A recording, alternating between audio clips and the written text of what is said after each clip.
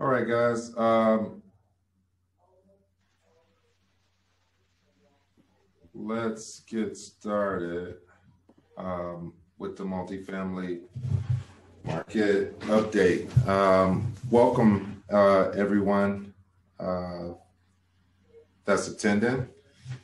Uh, I see we have a pretty good crowd here. It looks like uh, we have Allison in the room. Always good to always good to see you, Allison. Good afternoon. Uh, we'll uh, check in with you a little bit later on in the in the session. Um, I want to start off with uh, Drew Heitzman, um, our director of market analytics. Give us a little bit, uh, tell us a little bit about what you're seeing in the capital markets, and uh, we'll go from there. Appreciate it, Tony. Would you be able to uh, pass me over the screen sharing capabilities? Oh yeah, I can do that. Give me one second here.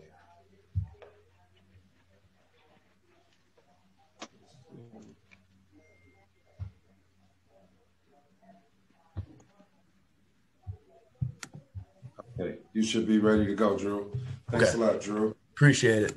Good afternoon, everyone. This is Drew Heitzman speaking. And in terms of the 10 year treasury, it's been quite a volatile week.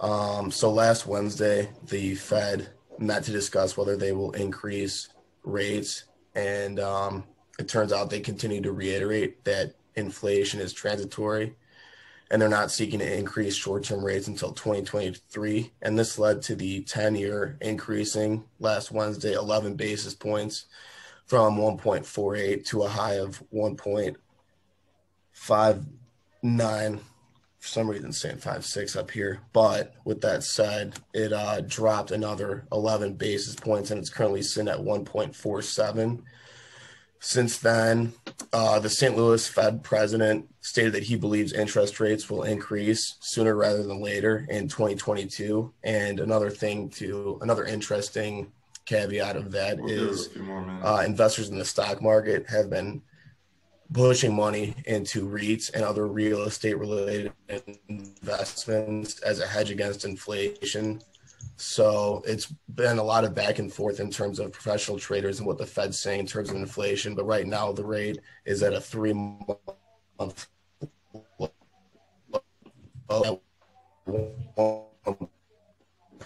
interesting and something to keep an eye on moving forward. So I appreciate that. Awesome. Thanks. Thanks for sharing that. So it looks like ultimately the Treasury is at a, a three three month low. Uh, however, uh, the Fed uh, is tossing around the uh, I word. At, at, some point there, you kind of uh, uh, connection got bad, but I, I, got the gist of it. Thanks. Thanks for sharing that, Drew. Uh, Vince, um, our director of acquisitions, uh, dealing with a lot of uh, in-state, local, national, and even international buyers uh, looking at the Chicago market. What what are you seeing out there, uh, Vince? Uh, real quick. Yeah, and and thanks for tossing the ball to me there, Tony. We're seeing a lot of investors coming from coastal areas, very interested in the Chicago market, just due to the sheer size of the metro area uh, you know, features like 22 Fortune 500 companies holding their headquarters in the Chicago MSC, uh, as well as 50 over 50% of the population being renters. That actually is a statistic that Chicago is unique in with regards to the top 10 metro populated areas. Um, a lot of factors ensure that these renters won't be home buyers in the near future, uh, for better or for worse. Those factors include, you know, student debt, and uh, things of that sort. So with those renters, on average, spending less than 20% of their income on rent, Chicago features itself as a top destination for transient workers. Um, it's very competitive in regards to people seeking high level employment that will be renters. You know, they want to have that mobility. So that makes uh, Chicago a top destination for investors. Uh, Business Insider rated Chicago as the top city uh, recently to purchase a rental property in.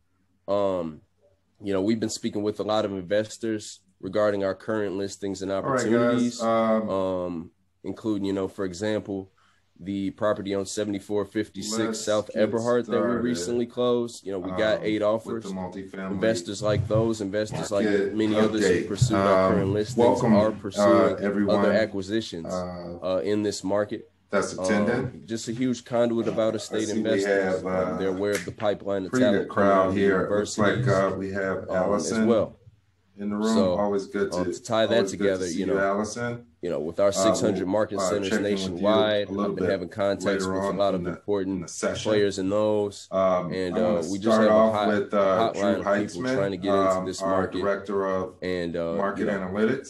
Just trying to find the right bit, fit uh, tell us a in regards to those investors. In the capital markets. Um, you know, we hear and, a lot coming out of the news locally, and we kind of get it, that kind of cabin fever in the Chicago market um, pass me over the screen. And out of state investors are, you know, taking advantage of those individuals who might want to make moves. Awesome. Thanks for sharing that. Yeah, that uh, interesting. Uh, you brought up 7456 Eberhart. Um, it was an out of state investor that was teaming up with a local team, local operator, local property you should be ready to go, Drew. Uh, Drew. To, Appreciate it. Uh, Good afternoon, everyone. In, this is Drew Heitzman speaking. And, and uh, I feel in terms of uh, 10 year treasury, it's been the, quite the a volatile uh, week. sometimes the local. Um, so last uh, Wednesday, the Fed met to discuss whether they will increase rates. And, and it's our um, job to make sure. Turns out they continue to reiterate that inflation is transitory uh, and they're not seeking years, to increase uh, short-term rates until 2023. And this led to the 10-year increasing last Wednesday 11 basis uh, points and, uh, from 1.48 to a high of 1.5 nine where it is. For some reason, saying five six up here. Sure but uh, with that said, it uh, dropped another eleven basis points, and it's currently sitting at one point four seven. Since then, uh, the St. Louis Fed president stated that he um, believes interest rates will increase uh, sooner rather than later in 2022. And another thing, too, another interesting we caveat of that is uh, investors in the stock market have been pushing money into a REITs and other real estate related um, investments as a hedge against inflation. So, so, it's, uh, it's been a lot of back and forth in terms of professional um, traders and what the Fed's so saying in terms of inflation. But right now, the rate is at a three and residential experience.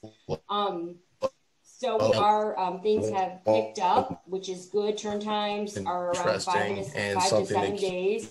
But with Vince, an eye on moving forward. mentioning so about these out-of-state investors, what I am seeing is since awesome. I am in the national thanks, platform, thanks for sharing that. So it looks like ultimately the treasury is at a, a three three month low. Create relationships. Uh, however, uh, the Fed uh, the is tossing um, around. As we all know, in the Chicago market, the title world is a wild, wild west uh, it is all over the place. So those investors that are not familiar with the thanks, Chicago market want to make sure uh, that they're set up Drew. with the best pricing. Uh, Vince, um, so I've been seeing a lot of that. They are putting um, Stewart Title and uh, those LOIs local, to gain control over that. So uh, that's been kind of interesting. Market. Um, I am what, seeing a lot of people from there, the outside uh, area wanting to get into the Chicago market as well. Yeah, and and thanks for tossing the that ball is, there, Tony. We're seeing uh, a lot of awesome. investors thanks coming for, from coastal areas very interested in the Chicago market uh, just that, due to the sheer size of the metro area. Uh, you know, features like see, 22 uh, Fortune 500 companies holding their headquarters in the Chicago MSC, uh, as well as 50 over 50 percent of the population being renters. That Absolutely. actually is Good a statistic everyone. that uh, Chicago uh, be really quick. In uh, wanted to touch to on the Illinois Medical District and um, kind of um, share what we've been seeing over that in that area. Won't be home buyers um, in the near future. East Lake uh, Management uh, with LZ Higginbottom, they include, you uh, know, some some research came out and, that they were able to secure so financing with those renters for a project that on was average spending less than twenty percent of their income. This this address is twenty fifty West Ogden, and it's right at the intersection of Ogden and Damen. For transient and they're planning 161 um, it's very uh, competitive uh, unit residential building, seeking high level and employment. It's definitely going to benefit that will be the, the area. You know, they um, want to have that mobility, you know, especially for the, the so medical workers. that makes uh, uh, Chicago a top destination and, uh, for investors that are all uh, um, Business Insider in that area. Chicago is the and then on top of that, really close by, recently you, have companies like Marquette property in companies who's a um, developer, and you know we've been speaking with a lot of investors regarding our current listings and opportunities. Um, a lot um, going on in Illinois Medical you know, District, for example, and uh, it's definitely the property on seventy four fifty six South um, Eberhart that we road. recently closed. You know, we got eight offers. Yeah, investors like those, investors like many others who pursued our current listings are um, pursuing other acquisitions uh, uh, in this market. Um, just a huge conduit of out of state um, investors. Um, they're aware of the pipeline of talent coming out of the universities um, as well.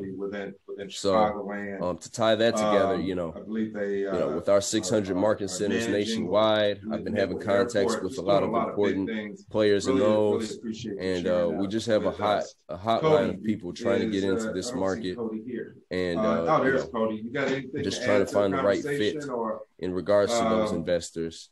Um, about how you know, we hear a lot coming out of the news locally, and we're trying to get uh, that kind of cabin fever in the Chicago market. Um, and out of state investors are you know taking advantage Nothing of those individuals Cody. who might want to make uh, moves. How about Kelly?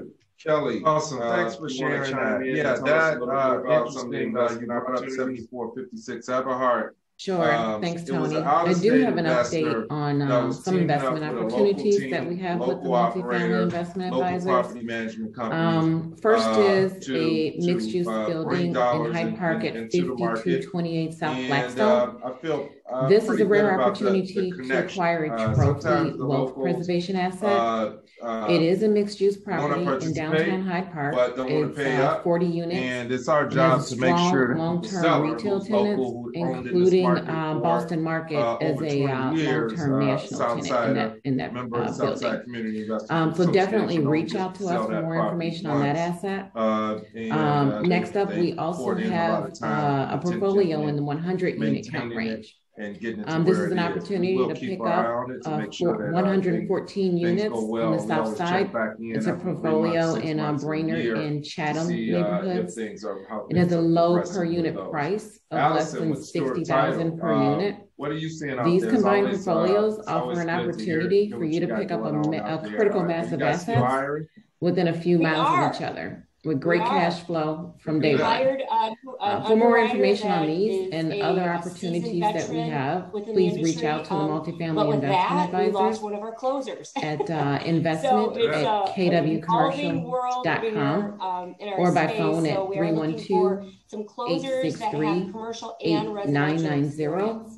I um, will uh, include so the are, contact um, information in the chat in here. Thanks to you, Tony. Are around five and a, awesome. Five and also, days. can you put the, the website in there? Uh, you can also find out more information about our team, what I am our company, is, and uh, investment opportunities all over the city. I am seeing a lot of investors reaching out to uh, me, wanting to create Chicago multifamily investments pricing dot com. Chicago um, as we all know, in the Chicago market, the title world is a wild, wild west and it uh, the, all over the uh, place. Blackstone so those investors that are not has familiar with the Chicago market uh, want to make sure that they're set up with the best pricing. Um, so I've been seeing a lot of that. They are putting um, and, Title and my name in those LOIs a recent to rehab elevator building. over so that. Lots of opportunities. So that's been kind of interesting. Um, I am seeing a lot of people thanks from for sharing the outside the area wanting to get into the Chicago market as well. 114 unit portfolio is over six buildings. Awesome. That is the um, talk. Awesome.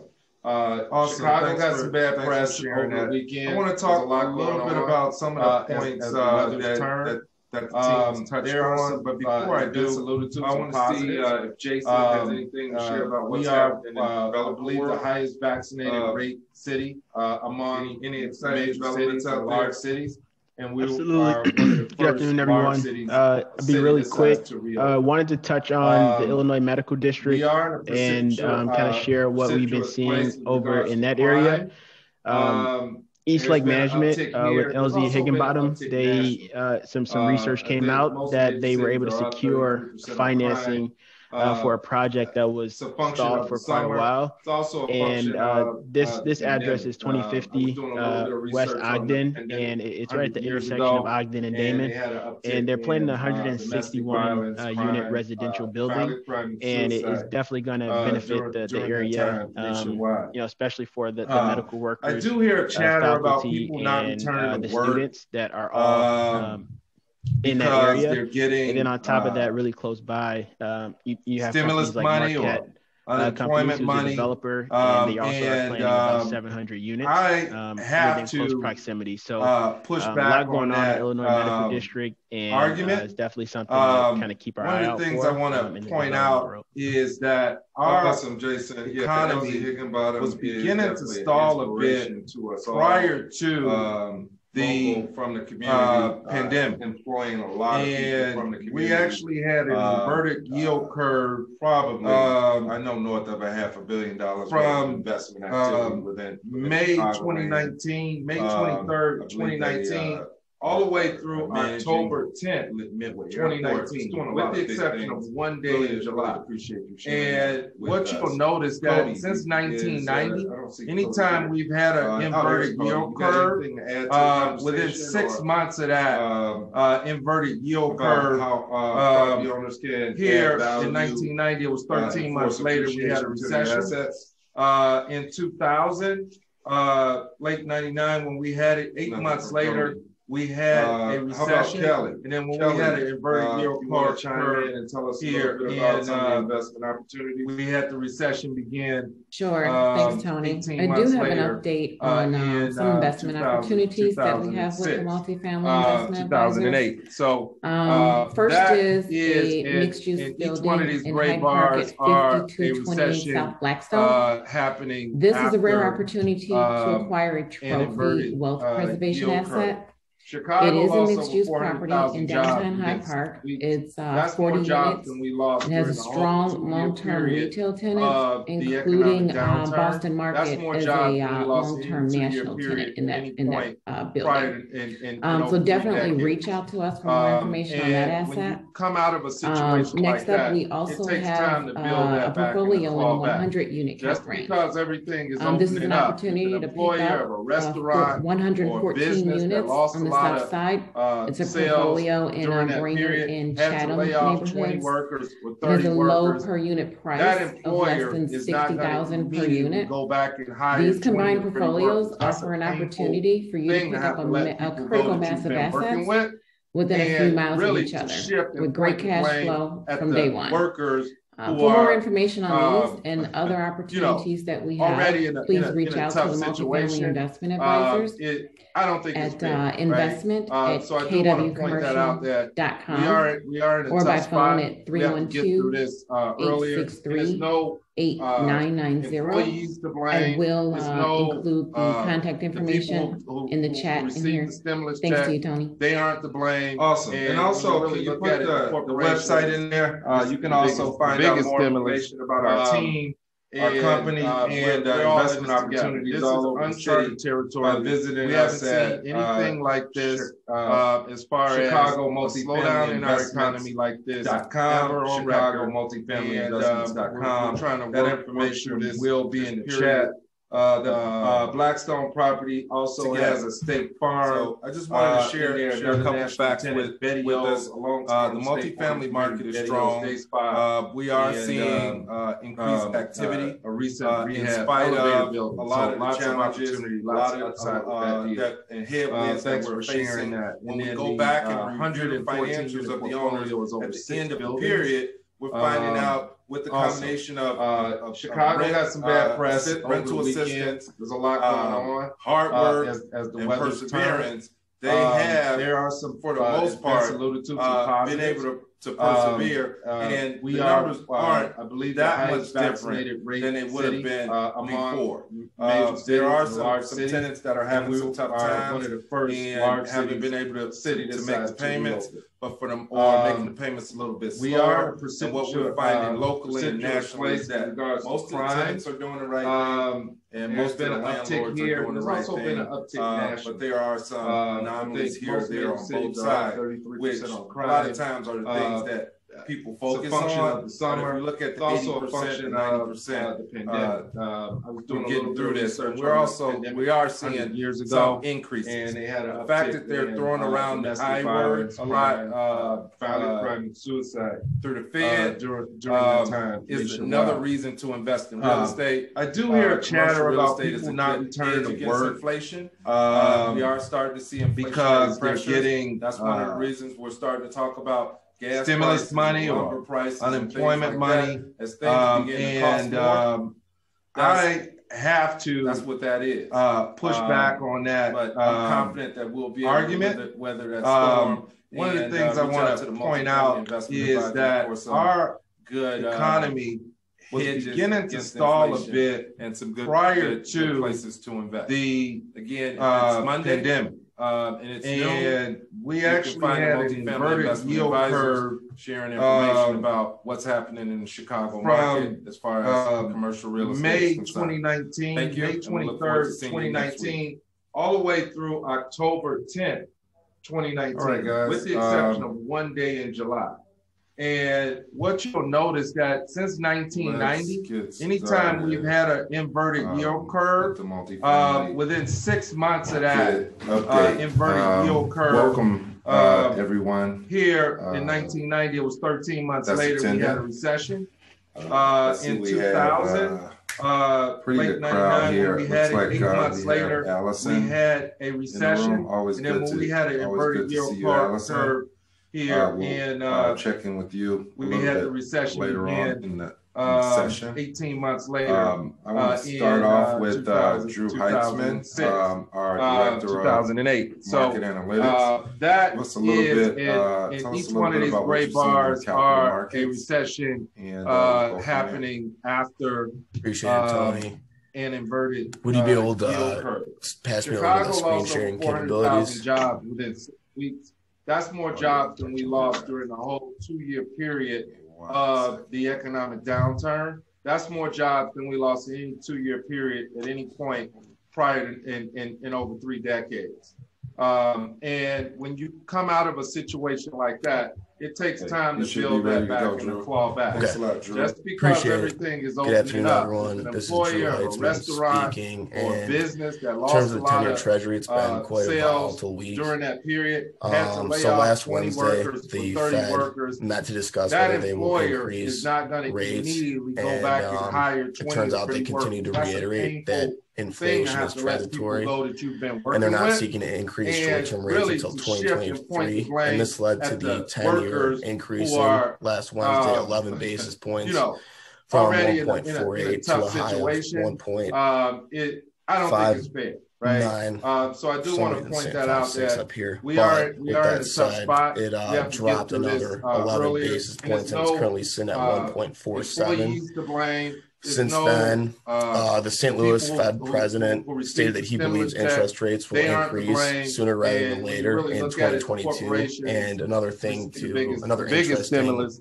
caveat um, of that is and, uh, uh, investors we're, we're in the stock market together. have this been uncharted territory. pushing money we into REITs and other like real estate related uh, as far as a slowdown in our economy inflation. like this ever on so record. it's and, been a lot of back and forth in terms of work, professional work traders and what the Fed's saying in terms of inflation. But right now, the um, rate is at a three month together.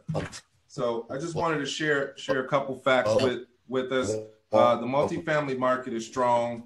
Uh, we are seeing something uh, increased activity uh, in spite of so a lot of challenges a lot of uh, that and headwinds that we're facing. Awesome. When thanks, thanks for sharing that. So it looks like ultimately the, the Treasury is at a, the period, a three, three month low. With the combination uh, of, however, uh, the rent, Fed uh, uh is tossing around the uh, I word. Hard work, at some point there, and perseverance. They have, connection got for bad, the most part, I got uh, been able to to persevere. sharing and that, the uh, numbers aren't Drew. that much uh, different Vince, than it would have uh, been. Our director before. of acquisitions, uh, uh, there are some, with a lot some of tenants that are having some tough local, times national, and, and haven't been able to, to make the payments the Chicago them, market. or making the payments what, a little bit slower. There, and what we're finding locally and nationally is that yeah, and, and thanks for tossing the ball to me there, Tony. We're seeing a lot of investors coming from coastal areas, very interested in the Chicago market, just due to the sheer size of the metro on, area. You, uh, you know, features like 22 uh, Fortune 500 companies holding their headquarters in the Chicago MSC, uh, as well as 50 over 50 percent of the population being renters. Lot, uh, that uh, actually is a statistic that Fed, Chicago is unique in with regards to the top 10 metro populated areas. Um, a lot of factors ensure that these renters won't be home buyers in the near future, for better or for worse. Those factors include you know student debt and, uh, things, things, of that, that sort. So with those more, renters, on average spending less than twenty percent of their income. Um, on rent, Chicago we'll features itself and, uh, as a top destination for transient workers.